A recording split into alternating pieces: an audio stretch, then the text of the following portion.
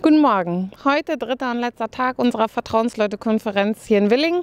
Wir machen gleich nochmal eine Zusammenfassung der Arbeitsgruppenergebnisse. Dann werden wir eine Willinger Erklärung verabschieden, die ihr nochmal nachlesen könnt. Und ganz zum Schluss wird Detlef nochmal alles zusammenfassen und uns nach Hause schicken.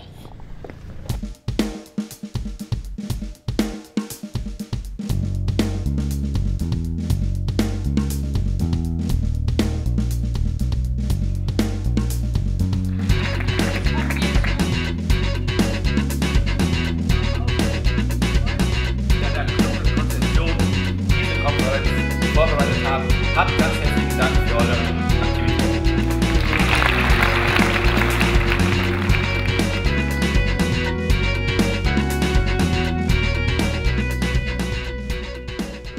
Drei Konferenztage sind jetzt zu Ende. Sie waren anstrengend, wir haben viel und lange diskutiert, wir haben aber auch ganz viel erarbeitet und ganz viel geschafft.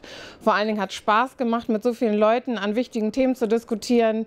Es ist auf jeden Fall klar geworden, was für uns noch ansteht bis zur Bundestagswahl nächstes Jahr. Wir werden viel arbeiten, um äh, wieder Wertschätzung von Arbeit durchzusetzen. Wir haben auf jeden Fall viel zu tun im Rahmen von Leiharbeit und Werkverträgen. Äh, auch Europa bleibt für uns ein Handlungs- und Herausforderungsfeld.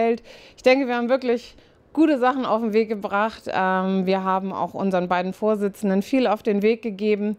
Äh, ich bin aber auch froh, dass es jetzt zu Ende ist, dass wir jetzt alle wieder nach Hause fahren können. Ich bedanke mich bei euch. Es hat Spaß gemacht, mit euch die Konferenz zu begleiten. Ich wünsche euch alles Gute und bis zum nächsten Mal.